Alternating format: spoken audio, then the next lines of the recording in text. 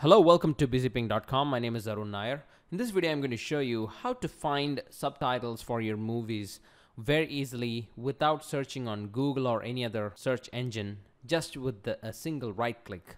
All right, so let's get started.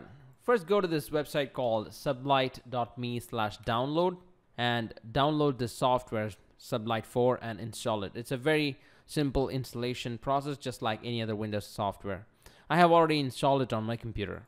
Now, I want to download the Sublight for this movie. Now you see me, I have the MP4 version. All I need to do is right click and since I have already installed subtitle, I can find this option in the right click menu which is find subtitles subtitles with Sublight. Just click on that and Sublight will launch. Now, if you haven't already set up an account on Sublight, it'll ask you to set up an account and you have to log in with your Sublight account. So I have already logged in with my Sublight account.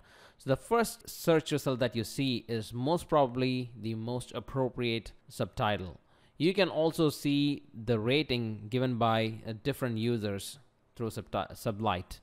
So I'm going to select the first one, right click, and before I go ahead and download and do all those, I can just click play video with subtitle and I can check if that subtitle is matching. So I click play video with subtitle and the movie starts. So I can just move somewhere to between. What do you see in there?